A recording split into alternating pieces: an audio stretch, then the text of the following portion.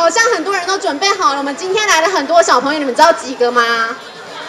八百九十一个哎！在台湾所谓科技公司所举办的活动会场上，八百外位儿童是欢喜个期待，因为一旦到游乐区来佚佗，对因来讲是一件真难得的代志。现在在企业的合作下，嘛好大家感受到社会的温暖。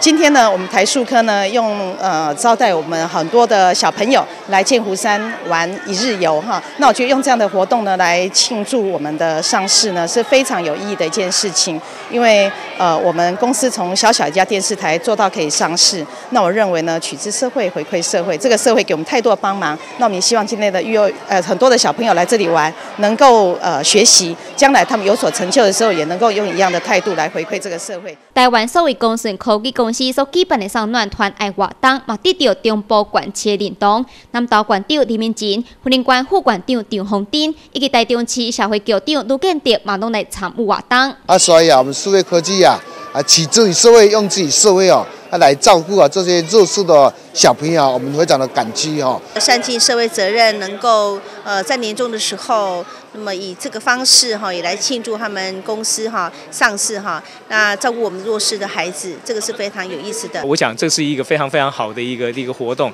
一个善的呃一呃一个善的循环。今天看到这么多小朋友哈，他们呃这么这么快乐的这个脸庞哈，还有他们这么兴奋的心情，我觉得我觉得其实最快乐的是我们是我们这些大人。